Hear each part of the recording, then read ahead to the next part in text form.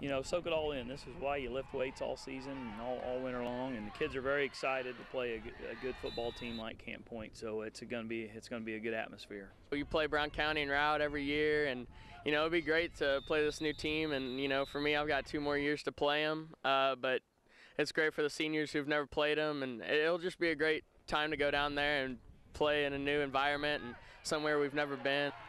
This may well be a radical scheduling departure for Triopia, but what the Trojans are not is strangers to the big stage. They've proven to be a team that time and again puts their business first. And the first order of business this Friday is slowing the Panthers' considerable rushing assets. They have three really good backs and they know how to run, but we just have to come in ready to tackle and ready to do our jobs and be focused this week. You know, we're going to work hard on tackling this week. Uh, those kids are probably two of the quickest as far as making people miss out in the open, and and it's going to be a big challenge for us. But uh, you know, like I said, I think our defense is uh, looking forward to that challenge. And it's a Trojan defense that hasn't been challenged to date, posting three shutouts and allowing on average less than three points per game right now.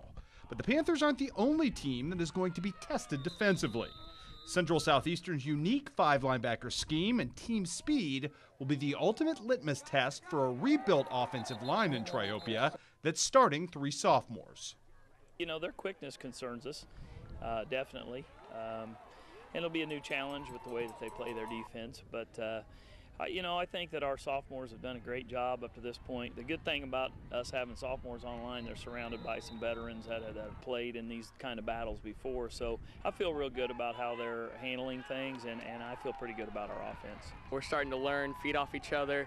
Um, we're getting stronger, you know, and it really helps that Blake's on the line with us. And Jordy, of course, played last year, but Blake's been there and he knows what to do. And, you know, if you have a question, he'll answer it and he can help. And, you know, he's a great leader. We just do what Coach Phelps tells us. I mean, he's our he's our blocking coach and he's a great blocking coach. So he just tells us what to do and we just do it to the best of our ability.